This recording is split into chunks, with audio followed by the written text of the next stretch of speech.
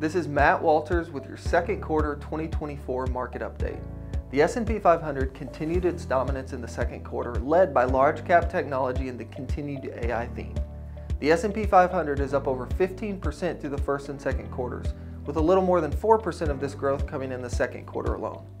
The equal weight S&P 500 is just up over 4% for the year, while being down down 3% in the second quarter. This goes to show that the continued dominance of the largest companies in the index has not let up.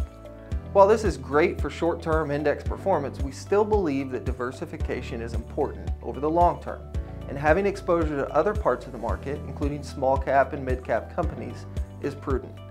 As long-term investors, we want to stay focused on best positions our portfolios for success through the various business and economic cycles that we will inevitably see, not getting lost on shorter term trends. Now this can be hard, especially when trends and momentum can last for extended periods of time. As we look forward to the second half of the year, there's much to anticipate.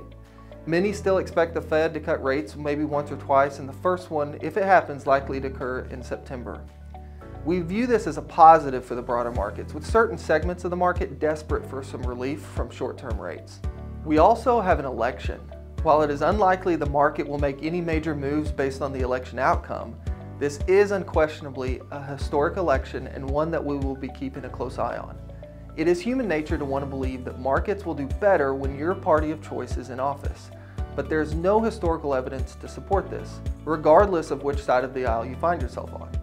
While public policy and economic agendas will determine the long-term trajectory of our nation, it is important to remember that they don't necessarily determine the direction of the market, especially in the short term.